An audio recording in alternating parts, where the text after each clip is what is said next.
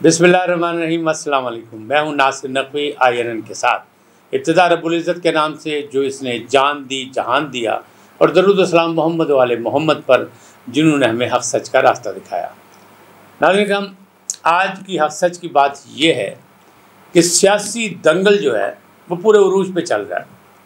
हुकूमत बदल गई, तहरीक अदम अतमाद आ गई, अपोजिशन हुकूमत में आ गई, हुकूमत अपोजिशन में चली गई। लेकिन सियासी दंगल में कमी नहीं आई। यानी लफ्ज़ी फायरिंग हो रही है दोनों जानब से। और मुकाबला किसका हो रहा है? असल मुकाबला क्या है और कैसे हो रहा है? किस किस का हो रहा है? इस बात से आपको आगाह करूँगा और बड़े दिलचस्प मामला हैं इसमें। लेकिन पहले आपसे दरख्वास्त का, यानी इनको सब्सक्राइब करें लाइक करें और घंटी का बटन दोबारा ना भूलें, बल्कि अपनी कीमती राय भी दें। नाजर ये सियासी दंगल किसमें खेला जा रहा है? पहलवान कौन कौन है? यानी देसी कुश्ती में तो पहलवान होते हैं और पहलवान ही नहीं होते। पट्ठा फलाना पहलवान पट्ठा फलाना पहलवान, आप फलाना फलाना लौरिया तो फलाना गुजरा वालिया इस तरह की अतलाह इस्तेमाल होती हैं। ज़बान सियासी जलसों में भी इसी तरह की इस्तेमाल हो रही हैं। लेकिन उसका मतलब ये नहीं है कि हम भी वही इस्तेमाल करें। ताम गुफ्तु तो उसी पर की जाएगी। गुफ्तु ये है कि मुकाबले में दो पहलवान, एक तो है इमरान खान साहब। इमरान खान पहलवान ऑफ़ बनी गाला और उनके मुकाबले पे कौन है?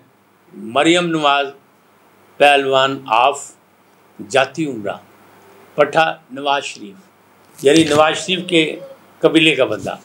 अब इन दोनों का मुकाबला। और इन दोनों का मुकाबला बड़ी तेज़ी से जारी और दोनों जो है बाज नहीं आ रहे। एक दूसरे पे हमला आवर हैं। इमरान खान कह रहे हैं कि हुकूमत मान गई है कि हमारे दौर में बड़ी तरक्की हुई। और इकतसादी सर्वे में बहुत सी चीज़ें जो है शोबे, वो इस बात का सबूत हैं कि हमने तरक्की के काम किए, हमने ऐसी मनसूबाबंदी की, जिसके मुस्बत नतज निकले। लेकिन उन्होंने लॉन्ग मार्च जो था, जो हुकूमत के ख़िलाफ़, क्योंकि वो हुकूमत को तस्लीम नहीं कर रहे हैं। शेख रशीद जो उनके कार्य ख़ास थे, वो भी नहीं तस्लीम कर रहे, बल्कि वो फिर लानत भेज रहे हैं इसम्बली पर। जिस इसम्बली से निकल के गए जिस इसम्बली में वज़ीर दाखिला थे, उसी इसम्बली पर वो लान तान कर रहे हैं। तो इमरान खान भी नहीं मान रहे, इमरान खान भी बैठने को साथ तैयार नहीं है। एक तरफ़ उन्होंने इस्तीफ़े दिए हैं, दूसरी तरफ़ स्पीकर के कहने पे वो ईवान में नहीं गए कि जाके बताएँ कि हमने खुद इस्तीफ़े दिए हैं। और तीसरी तरफ़ उन्हें टाइप किए हुए इस्तीफ़े दिए हैं, जो आयन और कानून के मुताबिक दुरुस्त नहीं है। लेकिन गोलाबारी जारी है और उन्होंने कहा है कि हम फिर आएँगे। उन्होंने अपने गुज्तर रोज़ की तकरीर में ये कहा है, अपने खिलाड़ियों को तैयार हो जाएँ, ताज़ा दम हो जाएँ, कमर कस लें हमने मुकाबला करने से इम्पोर्टेड हुकूमत का ये नाजायज़ लोग हैं। हम पर मुसलत किए गए हैं, बल्कि कौम पे मुसलत किए गए हमने भी इनको गिराना है, इनको हटाना है। भाई, पहलवान तो जब खाड़े में जाए, जब पता लगता है कौन किसको गिराता है, कौन किस पे बरतरी हासिल करता है। अब जो सियासी दंगल हो रहा है, उसमें मरियम नवाज़ कहती हैं, ले जी, इनकलाबी लीडर जो है, वो ज़मानतें करा रहा है तो ज़मानतों से इनकलाब नहीं आते।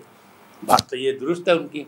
कि जब भी आप माजी में अगर इनकलाब देखें, चाहे वो कोई भी इनकलाब देख लें आप तो इनकलाब रूस हो या इनकलाब ईरान हो या कोई इनकलाब आप देख लें तो इनकलाब में तो कुर्बानी देनी पड़ती है। नेल्सन मंडेला बनने की अगर ख्वाहिश है तो उसके लिए मरना पड़ता है लड़ना पड़ता है, जेल जाना पड़ता है, कैदे काटनी पड़ती हैं, फिर नेल्सन मंडेला बनता है। ऐसा तो नहीं बनता कि सुप्रीम कोर्ट से इजाज़त लेके बन जाएगा।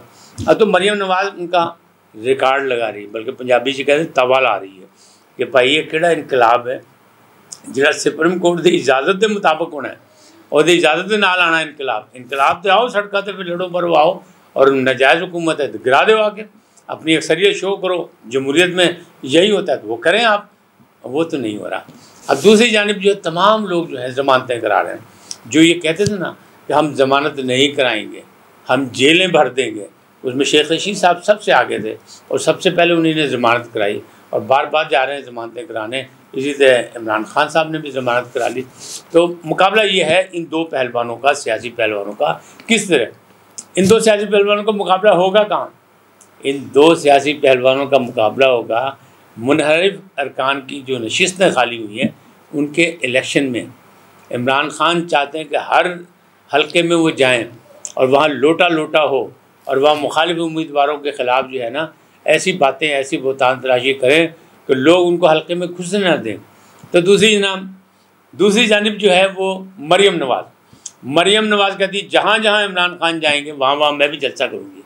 और मुकाबला होगा, हम भी लोगों को बताएँगे कि हमारे साथ कितनी दुनिया है और हम दुनिया को क्या देना चाहते हैं। हम पुरानी हुकूमत की कारकर्दगी बताएँगे और अपने जो मंसूबे हैं, उसकी बात करेंगे कि हम कम वक्त में हम ऐसा काम करेंगे जो बाला नशीन होगा जो मुल्क मिलत के काम आएगा, जिसके मुस्बत नतज निकलेंगे, महँगाई, बेरोज़गारी से भी निपटेंगे, क्योंकि ये बड़ा मसला है कौम का। लेकिन इलेक्शन हम जमहूरी अंदाज में लड़ेंगे और हम जीत के दिखाएँगे कि आपको ज़बरदस्ती का मैंडेट मिला था सिलेक्टर्स ने दिया था। हमें आवाम देगा मैंडेट इसलिए कि हम वोट को इज़्ज़त देते हैं। हम वोट को इज़्ज़त दो का नारा लगाते हैं। हम वोट के मानने वाले हैं, हम जमहूरीत के मानने वाले हैं, हम जमहूरी इकदाम के मानने वाले हैं। हम जमहूरी अंदाज में जलसे जुलूस धरने, एहतजाज सब कुछ करते हैं, लेकिन हदूद वूद में रह कर लेकिन फिर भी हमारे साथ जुल्म तशद हुआ कि जैसे कि मरियम कहती हैं कि जब मैं लैब में आई और मेरे कारकुन मेरे साथ थे तो हमारे साथ क्या हुआ? ये कहते कुछ नहीं हमने किसी के साथ किया। तो उन्होंने फिर उसको दोहराया। कि हमारे साथ जो है लाठियाँ भी चली, सब कुछ हुआ, रोका भी गया और हम फिर भी बाज नहीं आए, क्योंकि हम मुकाबला करना जानते हैं, हम अदालतों का मुकाबला भी करेंगे, हम आवाम में भी जाएँगे। तो ज़मनी इलेक्शन में ये दंगल जो है, ये बहुत अहम हो जाएगा और दोनों आमने सामने होंगे, अल्लाह खैर करे, क्योंकि तसादम का जो मसला है वो ना हो, क्यों? जो हारने वाला होता है या जिसके पास दलील नहीं होती, वो लड़ने को तरजीह देता है। लड़ के वो मामला को ख़राब करता है। हम नहीं चाहते कि जमहूरीत जो है उसको नुकसान पहुँचे, या इलेक्शन को नुकसान पहुँचे, या इलेक्शन कमीशन को कोई सुबकी हो तो उसमें दोनों पार्टियों को, बल्कि तमाम सियासी पार्टियों को अपना अपना किरदार अदा करना होगा कि कायद जवाबत के मुताबिक वो इलेक्शन लड़ें। लेकिन ये दंगल होगा बड़ा ज़बरदस्त, क्योंकि दोनों जानब से जो है, वो बाकायदा जो है वो तैयारियाँ मुकम्मल हैं। खिलाड़ियों को तैयार रहने का हुक्म दे दिया है इमरान खान साहब ने, और कल आपने देखा कि तस्वीर अखबार में छपी हैं कि पार्लियामेंट में पीटीआई की जो खातन मेम्बरान थी, जिनकी ने इस्तीफ़े दे दिए थे, उन्होंने हमला किया, उन्होंने अंदर घुसने की कोशिश की। तो एक अंदाज़ तो ये है, और एक अंदाज़ ये है कि आप पब्लिक से जाएँ, वोट लें और लेके फिर आप पार्लियामेंट में असली दरवाजे से घुस के अंदर जाएँ। तो ये सारे मामला जो हैं, ये इसी तरह आगे चलेंगे, और मरियम इसी तरह इल्ज़ाम लगाती रहेंगी क्योंकि उनके हाथ में बहुत सी बातें आ चुकी हैं। वीडियो का सिलसिला जो है, वो भी चल रहा है बार बार ऑडियो वीडियो आई तो उन्होंने कहा कि जनाब, आपकी वकूत में एक ताला खुलवाने के लिए पाँच कैरेट की हीरे की अंगूठी मांगी गई। और आप कहते हैं, मैं सादिक और अमीन हूँ। तो अब सारी दुनिया को पता लग गया कि आप क्या करते रहे। दोनों ने एक दूसरे पर ताबड़तोड़ हमले किए हैं, कर रहे हैं और मुस्तबिल में भी करेंगे। अब ये ज़मनी इलेक्शन फैसला करेगा कि जीत किसकी होती है। इतिहादी हुकूमत जो है, वो कहती है, हम सारी सीटें ये जीतेंगे। पीटीआई का भी यही दावा है। लेकिन दावा तो वक्त ही बताएगा कि कौन किसके साथ है अवाम किस पर अतमाद करते हैं। बस आज इतने ही। फिर मिलेंगे एक नए मौजू के साथ। अल्लाह आपको सलामत रखे। जाते जाते आपसे एक ही दरख्वास्त। आई एन को सब्सक्राइब करें, लाइक करें, अपने ख्याल का भी इजहार करें, राय दें और घंटी का बटन दबाना ना भूलें। अल्लाह आपको सलामत रखें। खुदा हाफ़